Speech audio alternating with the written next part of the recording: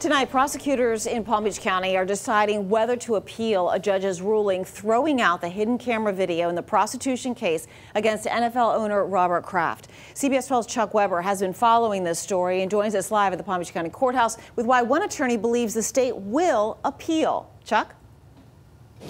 Liz, as we know, Robert Kraft was due here in court next week, but now the whole case against him is teetering after the judge's video ruling.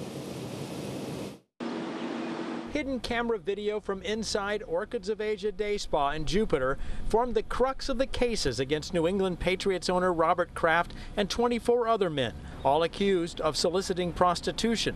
Jupiter police also lodged prostitution charges against the day spa owner and staff. But the judge presiding over Kraft's case just ruled Jupiter police failed to comply with established legal standards in conducting the surreptitious recording, mirroring an earlier decision in Martin County, Palm Beach County Judge Leonard Hanser determined police did not take adequate steps to avoid recording legal activity at the spa, the principle called minimization.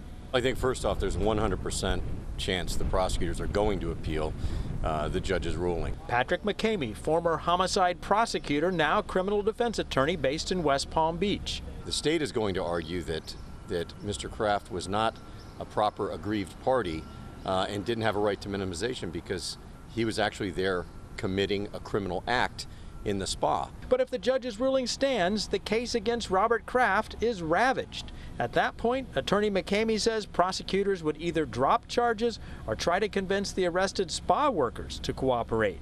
How bad do they really want to get the big fish? Um, you know, reality is these, these women are charged. They do not have to cooperate. So Robert Kraft has his calendar call set for next week, but today the judge set a status check in this case for the end of the week. We'll see what happens. Live in West Palm Beach, Chuck Weber, CBS 12 News.